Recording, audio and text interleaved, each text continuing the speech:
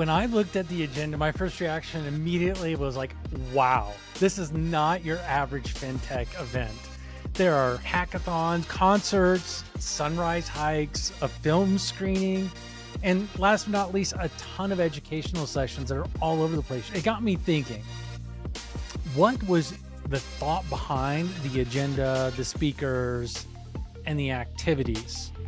This year, we leaned in a little bit harder on some of the icons and luminaries within the industry to make sure that everybody left with a really solid game plan and action plan, inspired to go take on the world ahead of them. Entertainment's going to be awesome and amazing in the mountains and fresh air of Utah.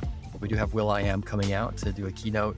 Uh, he's going to bring the Black Eyed Peas and do some awesome stuff for an evening performance. We got a really cool opening performance from Philip Bowen. As I think about the agenda, want to bring people together to help them accelerate their roadmap, accelerate the opportunities in front of them. Leave renewed, ready to go conquer the world, but also a playbook and a roadmap.